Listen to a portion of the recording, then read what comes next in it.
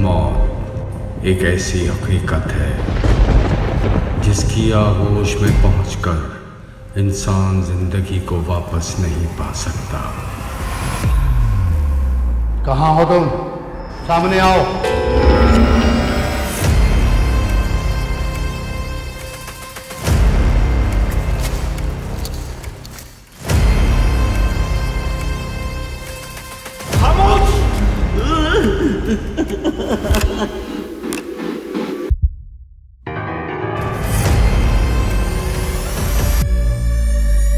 Oh, oh, oh.